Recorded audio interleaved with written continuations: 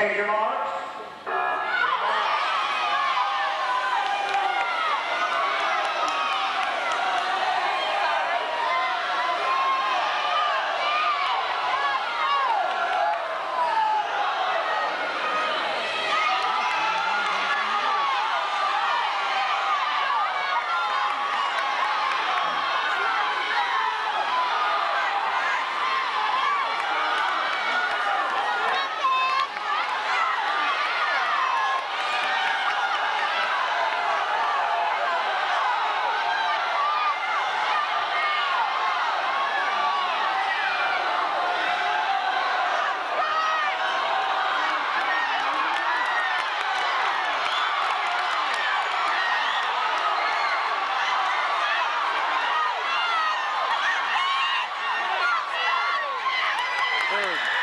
third.